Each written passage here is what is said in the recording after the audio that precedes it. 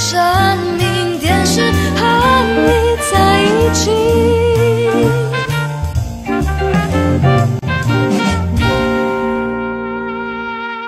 Hello。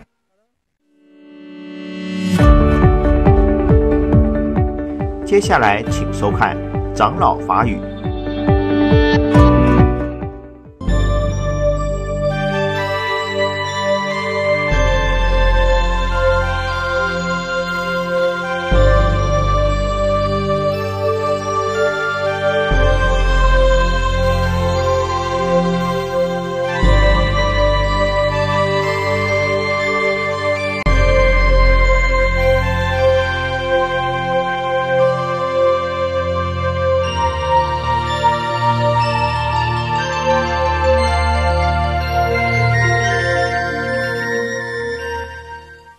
那么这是说明需要先用三电池的这个主要的原因啊。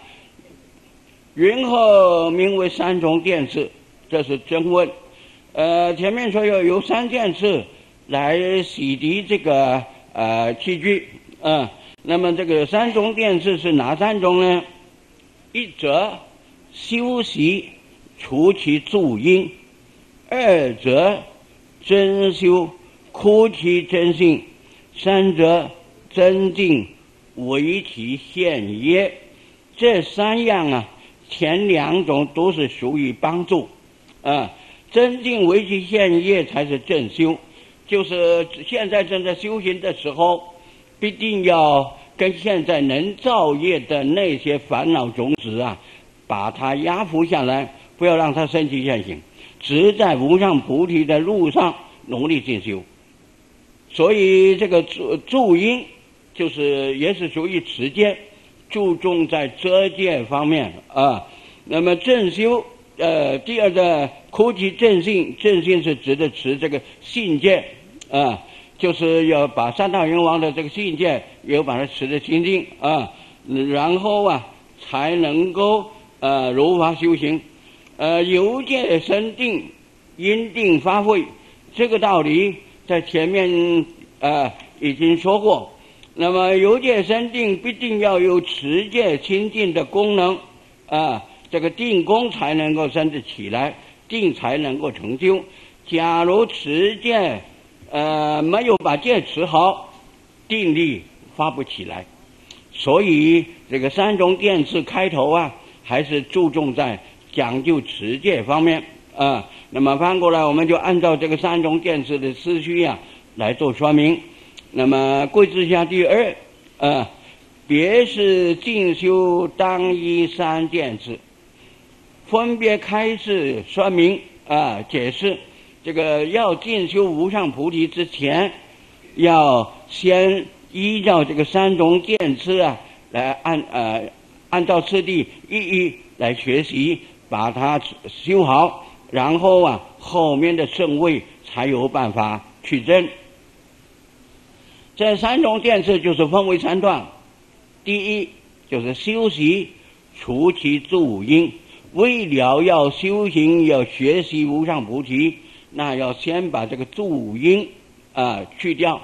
这个所谓助因啊，是助造恶业的因，不好的这些东西会助长啊造恶业的因缘。所以这个助因啊，呃，就是例如说吃五辛之类，会增长这个造恶业的因，所以要把它啊去掉啊。那么云何助因？经文说，呃，什么是助因呢？我呢，如是世界十二类生，不能自全，一是十住，所谓断食、触食、思食。事实，是故佛说一切众生皆以始住。嗯，文字很长啊，我们就先念这一段，先说这一段啊。什么叫做助因呢？助犯恶业之因，这个因要把它去掉。佛对阿难说：像这个世界，前面所说的众生世界两种颠倒，这个世界众生这个十二类生，嗯。如是如上文所说的世界中十二类生的众生，他自己不能自己保全自己。意思就是说，如果他不吃东西，他不能存活，啊，所以呃，他们这十二人生呢，他都要依四时住。呃，对于欲界众生，呃，三界内的众生，他的饮食不出这四种素食的方式，不出这四种啊。所谓指下文解释上文说，是哪四种呢？第一，断食。第二，促食；第三，思食；第四，事食。啊，就是这四种吃吃东西呀，这四种吃东西的方式，那么这三界内的众生才能够生活。呃，按照这四种，我们一一来做简单说明。第一个，这个断是断是段落，例如我们人人吃东西有段落。一口一口送到嘴里，嚼好了，然后咽下去，都有一个一个段落啊。有形有相的东西放到嘴里，嚼好了，咽下去啊，这是有个段落，所以叫做断食。我们所能看到的人道众生，以畜生道众生，都是要具备这个断食，要断就是团呐，一段一段、一团一团的饮食放到嘴里。啊，煮呃这个嚼碎之后，然后再才咽下去，就是有形状。我们人一天要吃三餐饭、两餐饭啊，那么每吃的东西呀都要有段落的，那么再送到嘴里啊，嚼碎了咽下去，这是断食。触食啊，是鬼神是接触到饮食就饱了，他不用把东西吃下去，所以是鬼神的吃品。呃，这个食品呢，呃，鬼神他只要接触到这个饮食，他内心就觉得饱满，不必把那个东西吃下去，所以叫这个叫做触食。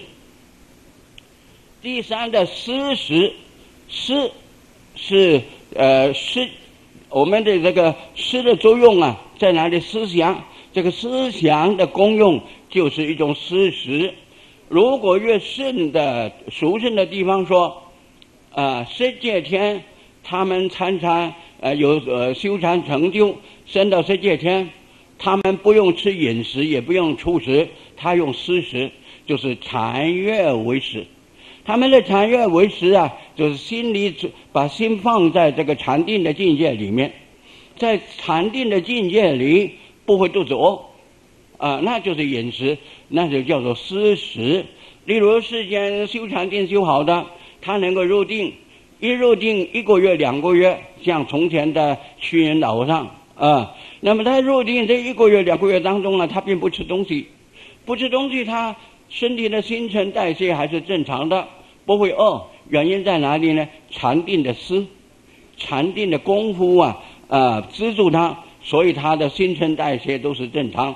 不会发生问题，那就是思食禅师，就是禅悦为食，这是属圣的啊，好的。还有呢，呃，我们人间也会有这种情况啊。各位看这个圆音法师的讲义里面呢，有两句话说啊，呃例如望梅止渴，闲沙止饥，这也是事实之类啊。呃，他只把这两句话写在讲义里面，可是他并没有解释。望梅止渴啊，这个比较容易知道啊。而且如果看过三国的人，呃，三国时代三国还没有形成之前，是望梅止渴的事情是曹操说出来的话啊。那么有一天有一段有一段时间。啊，曹操刚刚把这个首都移到这个许都，啊，就是他假天子以令诸侯啊，啊，那么当时本来啊，刘备，刘备是呃有徐州，徐州是他的地方，所以当时他是徐州牧，啊，本来他是徐州牧，啊，可是啊，他太仁慈了。他没有想到吕布是个虎狼之士，啊，结果吕布把他的徐州抢去了，弄得这个刘备一家人跟他的兄弟都没有地方，所以给他冲散之后啊，呃，刘备一个人冲散出来，关张都分散了，不晓得到哪里了。那么刘备出来之后啊，他怎么办呢？一个人怎么办呢？想到还是先回去许许都，暂时投靠曹操吧。所以只好单枪匹马，啊，往许都跑到这个许都去。呃，中途啊，到了天黑了，没有地方住，碰到一个姓刘的，他自己姓刘人刘安，啊，那么只好到到刘安的家里借宿，啊。啊，这个刘安啊，是个打猎的人，哦，他的心是很黑的，很很凶的。呃，他看到刘方叔来了，啊，他怎么办呢？天就黑了，也没有这个野味可以供养啊，怎么办呢？他就把呃，把他的太太杀掉，啊，刘安把太太杀掉啊，将将把他太太的这个呃北棒的肉割下来，啊，那么煮给这个呃刘备吃。刘备在吃的时候，他就问说：“哎，我没吃够了，这是什么肉？”刘安说：“啊，这是狼肉，狼肉，实际上是呃这个狼吃人肉，啊，根本刘备不知道他把太太杀掉，啊，他不曾吃过这种人肉，所以觉得很奇怪啊。要问他说狼肉，实际上刘安才是狼，把太太杀掉了啊。”那么第二天起来才发现后院里啊有个人啊杀在那边，呃北棒的肉都割掉了啊一问才知道昨天吃的就是他的太太的肉，啊没有吃过人肉的问问刘备就可以知道狼肉什么味，哦我觉得这个刘安太太残忍，那个时候的女性啊都是不值钱啊呃林子都会长菜啊很可怕。这样子不但没有受到责备，呃，刘备到了呃这个曹操那边了，说了这个事情啊，曹操还给他一百两的金子，金子，啊，叫他再买一个太太，啊，我看不晓得谁敢谁敢给他，哦，呃，这也许再碰到刘备又杀掉了。刘备投靠曹操，呃，后来他的关张也来了，呃，那么暂时在许都投靠曹操的时候。呃，这个有一天关张都出去了，呃，刘备又遮遮掩他的情况，就在后院里种菜，他自己在种菜。哎，这个时候啊，突然之间，呃，曹操派人来请他，要他去喝酒，呃，他不得已只好去啊，不去不行啊。到了这个曹操丞相府的后院，啊，他排好这个地方，就正在要请他喝酒。呃，说什么原因请他来呢？曹操就说了，他说我去年啊去征张绣的时候，就是跟张绣打仗的时候啊，呃，兵士往南跑，呃，口渴了，路边又没有水，大家渴得不得了，因此他临时就用马鞭一指，前面有梅林，说前面有梅林，就是有梅梅的呃梅园子啊，很多梅，你们赶快跑，跑到前面去，有梅子就不会口渴了。实际上是假的，啊！一说到梅啊，大家口水就流出来了，啊！因此之故啊，大家都是往前跑，那么也也不会口渴，呃，这个叫做望梅止渴，啊！因为说到前面有梅林啊，那么结果他往前跑，那么这个梅林就会出现，那么就不会口渴了。有没有碰到没？另外一回事，当下他们不会口渴了哦。那么然后他这个这是去年的事情，今天因为他的院子里面的梅熟了，所以他煮酒论英雄，就请这个刘备啊来陪他喝酒啊。那么其他的这些事情与此无关，就从略。这是第一，望梅止渴。有人问，呃，刘备继续投靠曹操。他以后怎么能够出来呢？他怎么能够成立他的国家呢？呃，简单说，呃，他煮酒论英雄之后，大概不到一两天，就听到一件大事情，就是袁绍把公孙瓒打垮了。公孙瓒而且死掉了。公孙瓒是十八路诸侯之一，本来也很强的，而与刘备是有有缘故的。结果公孙瓒被消灭掉了，呃，而且袁绍越来越强，还有袁绍的弟弟袁术，啊，打算要跟袁绍合并起来来打曹操，那么曹操呢，那个时候刚刚开始，力量不强，他就很呃恐慌啊，恐怕发生这个问题严重。那么因此他正是需要人才的时候，当然刘关张他都需要。所以这个时候他听到这个事情，呃，这个刘备马上就向呃曹操呃建议，他说这样了，我我这一局啊就去拦这个袁术，拦袁术，不要让他去跟袁袁绍呃合并，这样子可以减少减少一部分的力量。啊，曹操一想也好啊，就马上准许。呃，刘关张带了五五百兵吧，就去啊，打算要去拦拦这个袁术啊。有这个机会啊，呃，刘备就跑出来了啊。他们三个人带着兵就出来了啊，而且走得飞快。呃，张飞在中途问问刘备：“大哥，今天为什么要出来？呃，这么匆忙，这么快，这么急呀？”刘备说：“你们不知道。”我在那边呢，好像就在鸟笼子里面一样啊！现在鸟笼子的门打开了，我不赶快飞，还行吗？难道不要命啊？呃呃，实际上投靠曹操是不是办法？他是不得已的临时啊。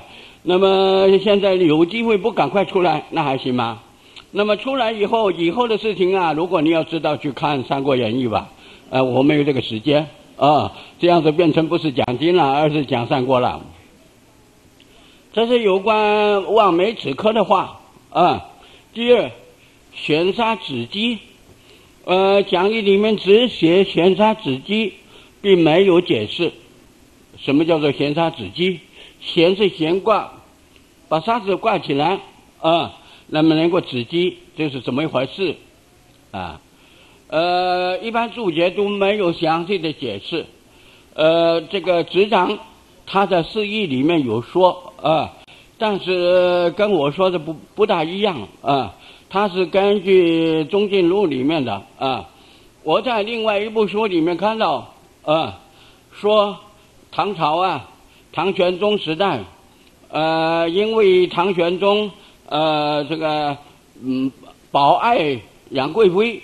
由此发生这个安禄山之乱，啊，安禄山造反就是由那个原因而来的。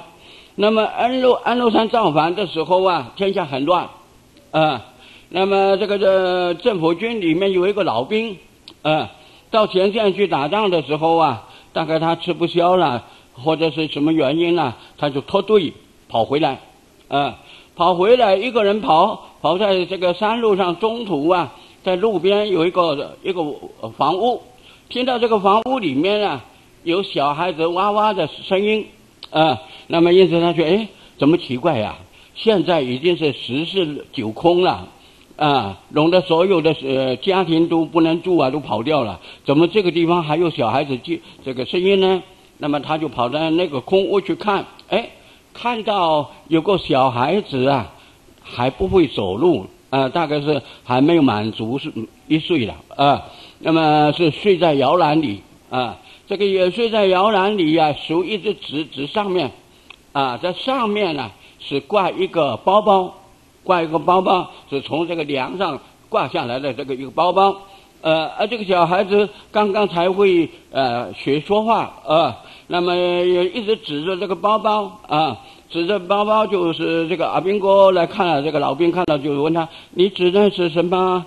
呃，妈妈妈妈说：“那那有饭有饭，我肚子饿，那有饭。”说他妈妈交代他说他这上面有饭挂在那边，可是小孩子他也不会动啊，也不会走路啊，更没有办法下来拿这个呃挂那么高的这个饭啊，所以他一直想说上面有饭。所以大概是已经在那边啊过了七天了，都没有吃东西，已经很衰弱的情况嘛啊，说话已经没有力气。那么这个老兵好心啊，呃，他想想，既然是上面有饭嘛，我来帮助他，赶快啊，就想办法垫高，呃，把这个梁上挂的这个包包把它解下来，解下来当在这个小孩子面前打开，打开一看。并不是饭了，而是一包沙土，一包沙土。为什么会这个样子呢？因为做母亲的，天下这么乱，他为了自己保命要紧啊，再加上这个小孩子啊，他已经没有这个能力去养育他，啊，那么只有死路一条，他又不能看着他死啊，看他饿死也没有办法，所以他只好用这个办法，当下自己没有看到啊，没有看到他的这个儿子死的情况，所以他的这个包一包沙沙土挂在上面，就跟他的儿子说：“我在上面挂有饭啊，你肚子饿，上面有饭啊。”啊，这是一种假想而已。小孩子想着上面有饭，所以七天没有饭吃也不会饿。等到拿下来，老兵帮他拿下来，一看是沙土，沙土不能吃啊，不吃饭啊。小孩子一看到是沙土，马上就断气了，死掉了。啊，因为必定会死的嘛，因为他没有东西吃啊。而这个老兵也不知道里面是沙土啊，所以解开来一看，看是沙土啊，整个就心就沉下去了啊。所以这个当时老兵也很难过，而这个小孩子一看到是沙土不能吃，当下就咽气了，啊，就就断了气了，就没有没有活力了。那么这就是所谓咸沙子鸡。他还没有拿下来的时候，小孩子往上看，看着那个沙土，明明是一包沙土，他以为是饭，因为他的母亲跟他说是饭，所以他一直想，如果肚子饿，上面有饭。有人来帮助的话，我就会有饭吃。他没有想到里面不是饭，而是沙土，因此只顾整个沙包剪下来，一看到是沙，整个希望就断掉了。所以因为七天没吃东西，小孩子就饿死了。啊，那么由此呃，所以叫做咸沙止饥，就是没有剪下来之后，暂时止了七天，是暂时的。不能永久性啊！假如你肚子饿，我有一包沙挂起来跟你说这个是饭，我相信你绝对是不会相信啊！如果呃用这种方式暂时来呃解饥，那不是实在的，心里想象而已，想到那个地方有吃的，所以那个那是叫做施食啊！这是举例啊！世界上有这么一种例子啊！那么这个事情据说是出在呃安禄山造反的时候，天下大乱，乱到连唐玄宗都要离开首都啊，都跑到四川去啊，呃，所以当时的乱的情况可可以知道很怕。有人说，中国的历史几千年来啊，只有一个字就可以把它断定它的历史是什么？乱，乱。中国历史没有别的，就是乱。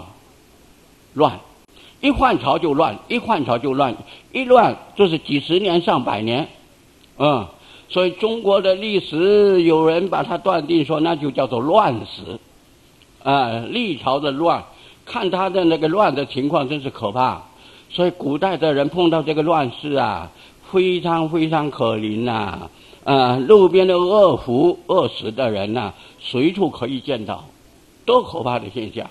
啊，现在人享福不知道，啊，呃，一整碗白米饭隔一餐就不吃了，倒在这个呃这个呃垃圾堆里面去，非常非常的啊这这个过度的享受，实在是要不得。呃，那么在古代的人呢，这种的碰到这种苦况啊，那是难以言喻的。这是说明事实啊。呃事实因为注解差不多都提到这两样事情，望梅止渴，闲杀止饥，差不多所有的注解都有这两句话啊。不过真正把内容写出来的并不多。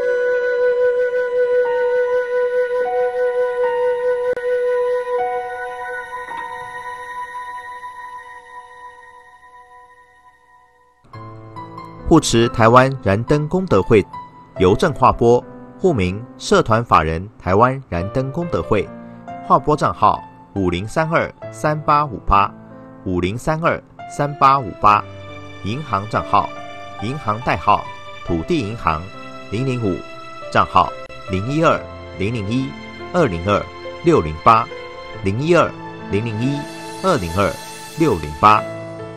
有关弘扬佛教教义及活动相关之供养僧众、供斋、点灯、慈悲施食、要供烟供。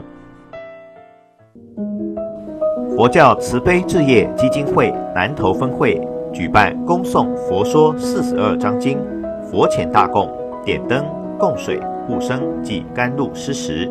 日期十一月二十七日星期日，时间上午八点开始前行，下午两点。恭送药师经，恭请湛山法师主法领众。地点南投分会，南投县草屯镇中正路二百五十四至八六之五号。洽询电话：零四九二五六一三一一，零四九二五六一三一一。南投分会法会备有免费消灾超荐，请事先报名参加。敬邀菩萨参与熏习同沾法益，共沐佛恩。配合防疫措施参加共修，敬请佩戴口罩。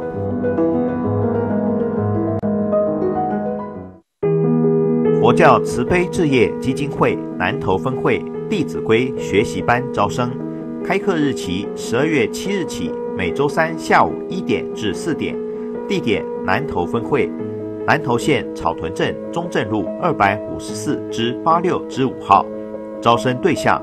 小学一年级至六年级学生，报名电话零四九二五六一三一一，零四九二五六一三一一。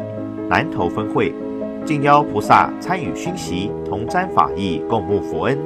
配合防疫措施参加共修，敬请佩戴口罩。